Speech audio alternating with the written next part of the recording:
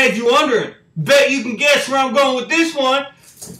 Who the hell made these lights, man? Come on, are you serious? Hey, look. It's supposed to look like icicles hanging off the roof. No, don't. Look like a pile of knots to me, man. Hey, we got enough trouble trying to untie them. We don't need to put them up and then untie them again. And look.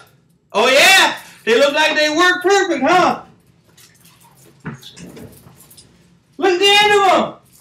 Now working. Hey, Mister who invented Christmas lights.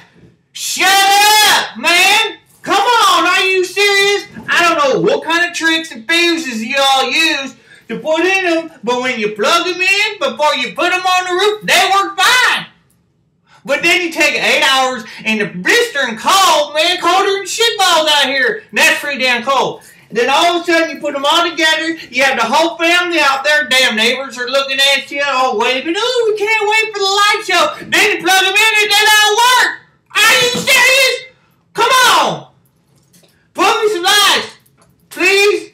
Man, they're working now, but not at the end. I got all the way around the roof. So pretty, so beautiful. Merry Christmas. Shut up! It ain't no Merry Christmas to no one.